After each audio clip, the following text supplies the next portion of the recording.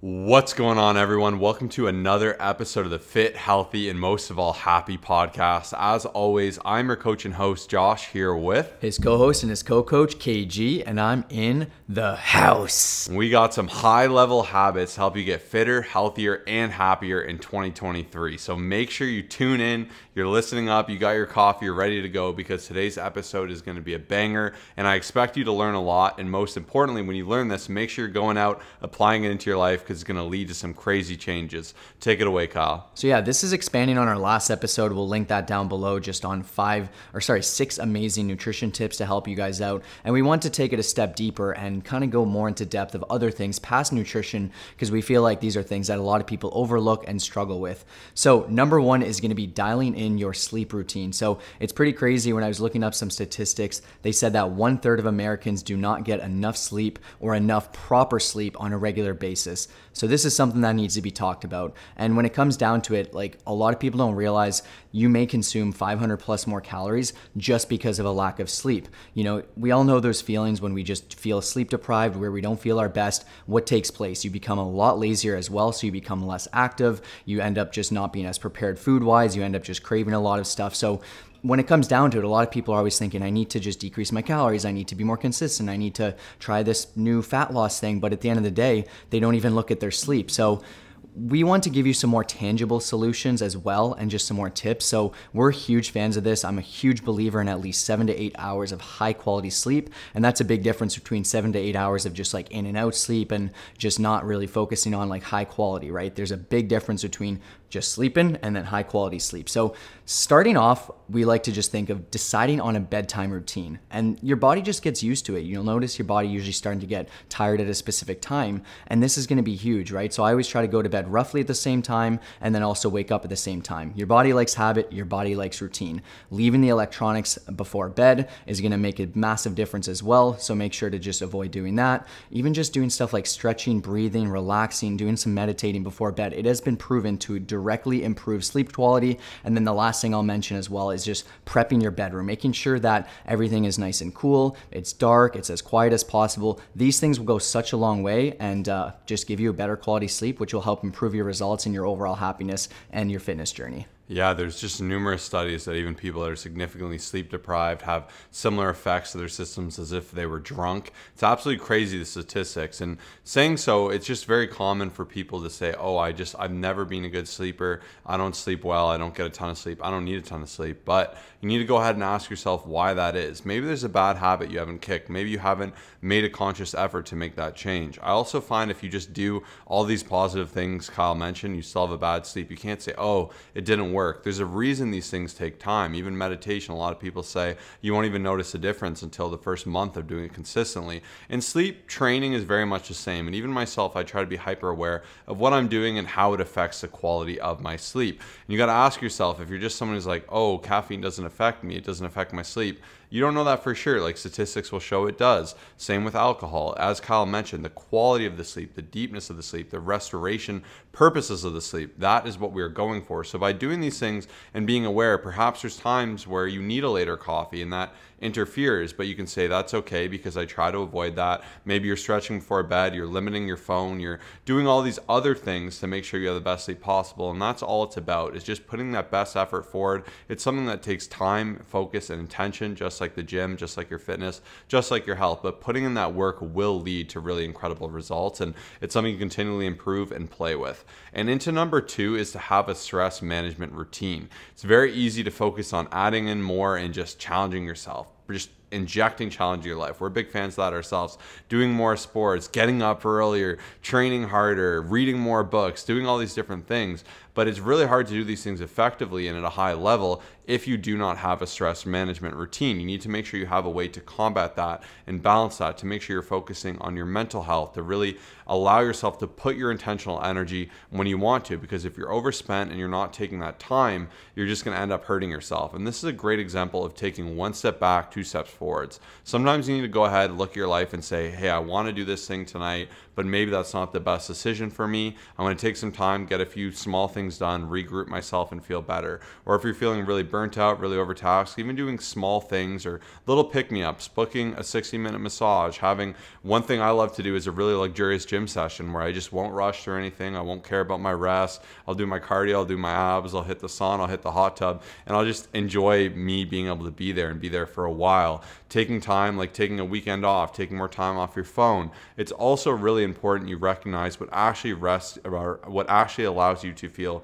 rested and recovered. And for me, it'll be a million different things, but even like taking 10 minutes to meditate for me is just such a nice little gap in my day. It feels really good. And I know that will make me feel better than just mindlessly scrolling through Instagram or just eating a ton of food to get that quick little burst. Instead, you got to ask what actually helps me feel rested, recovered, and nourished. And if you're an extrovert and you love talking to people, make sure you're not letting life get too busy and get in the way where you're not able to do any of that. Spend that time doing what you love, spending time with people. If you love your long walks, go on your long walks. All these different things are just going to pay off in multitudes. So it's really important you do allocate time to manage your stress. Yeah, and everyone's so different, and it's really important to know what stresses you out and kind of have some sort of rough tentative game plan of how to work around that when it does take place. And I'll never forget, like years ago, I used to try to just think, I'm gonna get rid of stress. It's never gonna happen again. When I fix this problem, I'm never gonna be stressed. And it just seems like there's always something that pops up. But I kind of just look at it as like, hey, I'm going to make it through. I'm going to work through this and,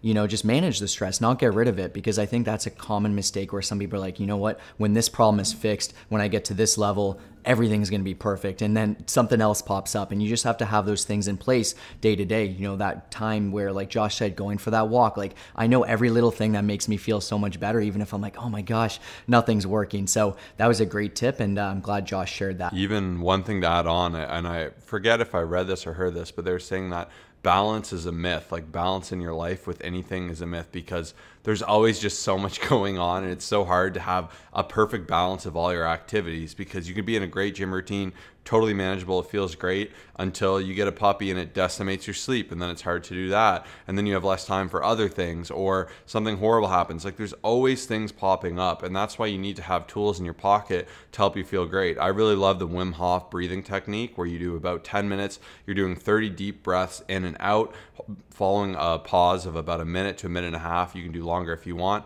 Then you do a recovery breath for 15 seconds. I find it just really refreshes me. Sometimes I have zoning out just for normal breathing meditation. I do love that as well, and I spend time doing that. But I find that gets me charged up, and I can just add that when I'm feeling stressed and there's too much going on. I can say, let's pause. I can take 10 minutes. There's nothing wrong with me doing that. And that goes a long way. And one other thing I want to share with stress, which I really love, and I got this from Tools of Titans, uh, a gentleman, I forget his name, was mentioning how he used to do this bike, uh, this certain bike path, and he loved doing it. And he'd always race to do it as fast as he could. And he'd get in 45 minutes. And no matter what he did, he tried so hard, he'd be within 45 minutes. And then eventually, for one day, he's like, you know what? I'm just going to do this. I'm going to look around. I'm going to enjoy every second of it. I'm going to take deep breaths. I'm going to take a little bit more rest when I want to. And he actually ended up doing it in 48 minutes. And he's like, wow, what a crazy principle because with only three minutes more, he enjoyed it 100 times more. It wasn't work. He looked forward to it. He took in the scenery. And life can be like that too. I find it's really tempting and easy to rush to the next thing, to rush through your workout so you can get to your shower, so you can get to your lunch, so you can get to work, so all these different things. But if you take a few seconds to say, no, I'm going to do things right, I'm going to enjoy it. I'm sure even everyone can relate. In the morning, you're in a huge rush. You're like, I got to brush my teeth. And it's easy to cut that out and rush on on the day. But if you think about it, that's only like a minute, two minutes of your day that is actually going to help you and save you from having a bunch of bunch of uh, teeth issues. So just taking that two minutes is going to be more advantageous. And there's a bunch of little things in life where you can take a little bit more time to do the things right, to really kind of slow down in the day and be present. And I find for me that is a big stress reliever. Yeah, and last thing is it's pretty powerful and crazy how there has been a lot of studies showing that those that are super stressed end up being more sedentary they consume more food in a given day. And like that's why we want to spend some good time on sleep and stress because there's so many people who are overworking themselves sleeping a couple hours a week constantly stressed trying really hard to overload and just like wondering why it's not working. So really those these two big things are super important to pay attention to focus on just you know making those positive changes and you'll you'll realize that it's just these are things that could be holding you back and uh, yeah we just want to spend some time on there. Um, and that's going to bring us into number three, where, and this is where there's just so many things that come into it. It's just like having some accountability. And this is where our coaching obviously comes in handy, but I think so many people struggle because they're just navigating this fitness journey by themselves. No one else around them really cares. Everyone has super busy lives. No one is there to hold them accountable, to call them out, to even just give them the right type of guidance.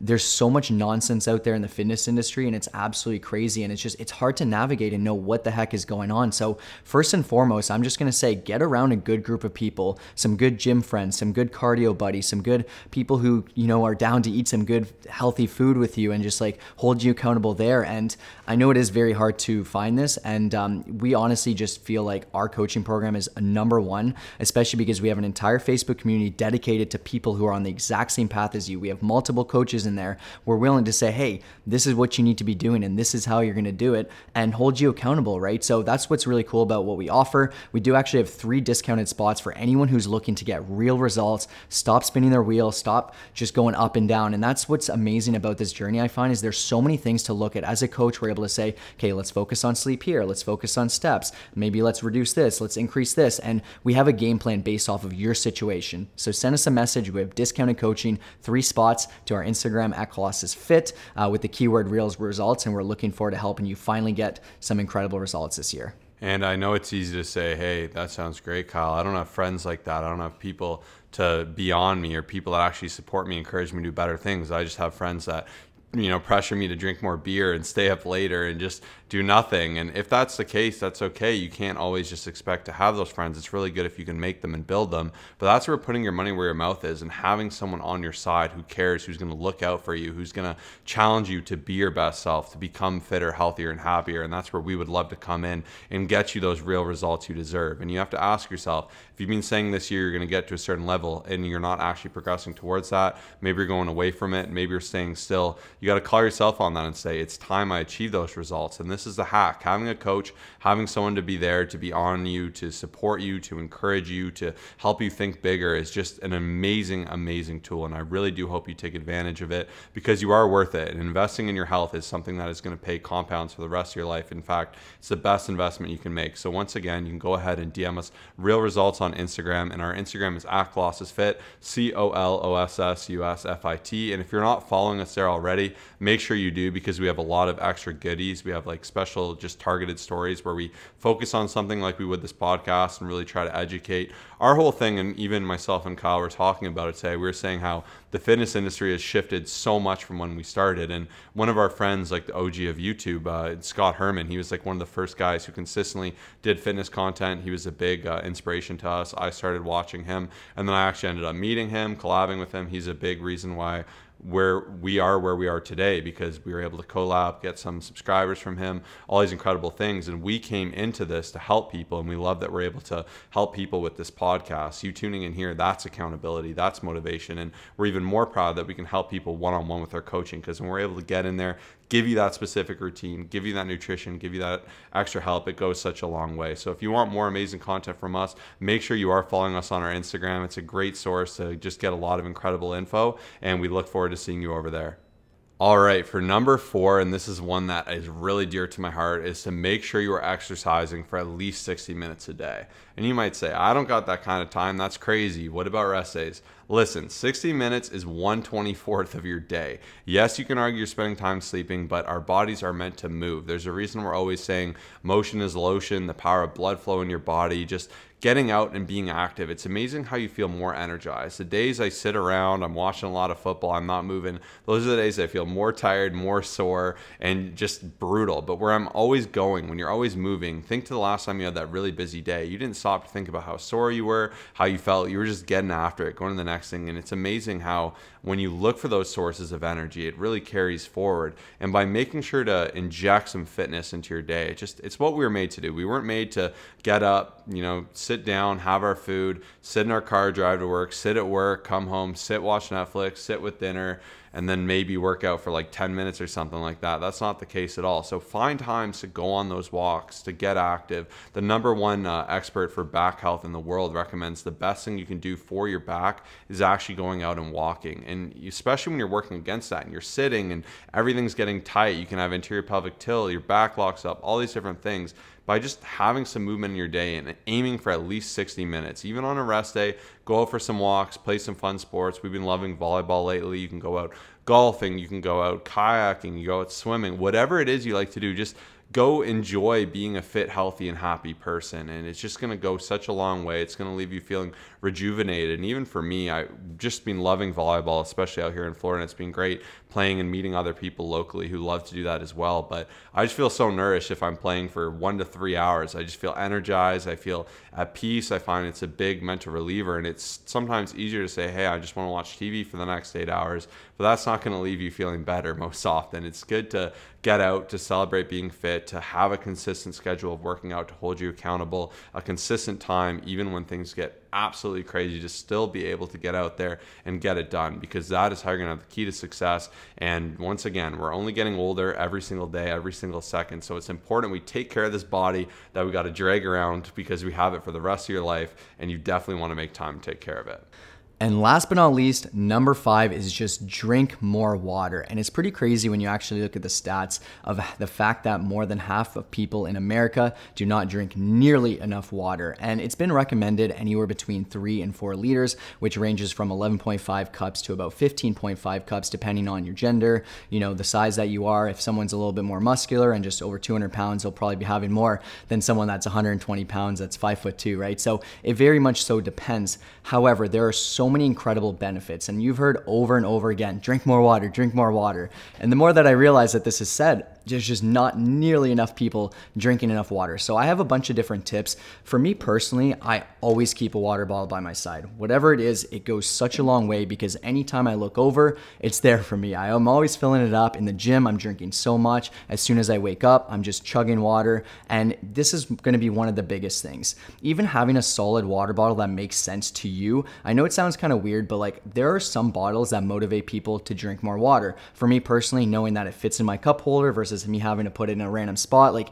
whatever works for you, and it's going to be different. Even just like you know, just having a nice one will go such a long way. Knowing that you're going to have it for so many different years and stuff like that, versus ones that just break whenever it uh, you know just falls or whatever it is. Um, even setting reminders, as I said, like a lot of people drink way too little water because they're either too busy, they forget, or they don't track it. So setting those reminders at specific times every hour, drink more water, drink more water. And there are some water bottles that are good because it has those little reminders throughout the day, and you'll see what time you should be at. And I think that's beneficial for some people. And then last but not least, even just for a little bit of time, tracking it. I always say what gets tracked gets managed. So I don't personally track my water now. I know I have enough. If not, I have more, which is super awesome. But just keeping a log of it until you build up that habit will go such a long way. But drink more water. Your body will never, you know, be upset with it. And uh, I recommend you taking advantage of this tip today. Water is that sneaky thing that you think, oh, it's just, it's a small whatever. It's just water. I don't need water. I need food. But when not having water, as Kyle mentioned, that can cause you to be more hungry. It can affect your skin. It can just do a whole myriad of things. And by making a point to say, I am going to have more water, you will be amazed how much better you feel. It just flushes the body out. It keeps you hydrated. It keeps your head feeling right. It's just going to connect a lot of the dots. And very often, this is the gap that is missing in a lot of people's game. And it's so easy to overlook it, focus on other micro factors, but make sure make a priority to have water. Even first thing in the morning, I like to chug a big glass of water. Your brain uses a lot of energy while you sleep. You can get very dehydrated throughout your sleep. If you consider eight plus hours with no water, no fluids, it's a great opportunity to do that. Your breath is going to smell better. There's just a million benefits. Case in point, make sure to make that water your priority. As these other four tips, these five tips will change your uh, change the game for you, connect a lot of dots, and help you doing better in your journey. And most importantly, show you how to be a fitter, healthier, and happier person. So we just want to go ahead and say thank you to every single person who tuned in, whether you did over audio or video. You are the best, and we really thank you for just being here with us today, going through this info. We really hope you got a lot from it. If you did, all we ask is if you could share this with a friend, to your story, to your social media, just someone who you think would benefit from hearing that. That will help us grow. That'll get us to the next level. That'll help other people become fitter because that is our goal in life is to help people become fitter, healthier, and happier. So thanks again for tuning in. Peace out.